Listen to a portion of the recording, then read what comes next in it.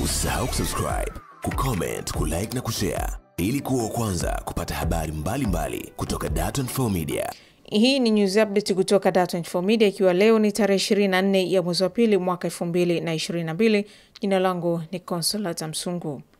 Raia wa Ukraine wameamshwa na milio na mabomu hii leo Februari 24 baada ya rais wa Urusi Putin kuamuru majeshi kuivamia nchi hiyo.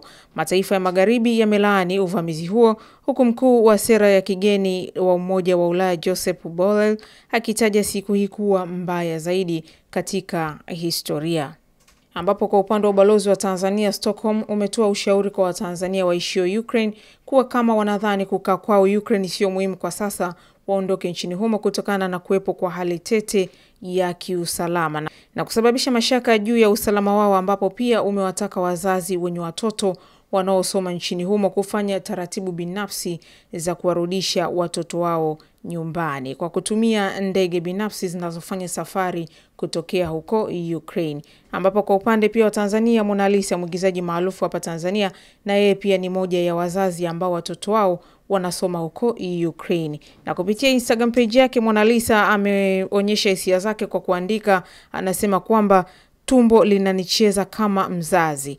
Ukraine, hakuna ndege na mpataji mwanangu. Mungu wasimamie watoto wetu. Ameeleza maneno haya kupitia Instagram page yake kuhusiana na hilo swala la huko Ukraine pamoja na Urusi. Endelea kutembelea mitandao yetu ya kijamii Facebook, Twitter pamoja na Instagram, andika Dar24 News, lakini pia tembelea YouTube channel yetu, andika Dar24 Media, bila kusahau kupitia simu yako ya mkononi unaweza ukapakua app ya Dar24 ili uweze kupata maelezo yote kuhusiana na Dar24 Media, taarifa bila mipaka.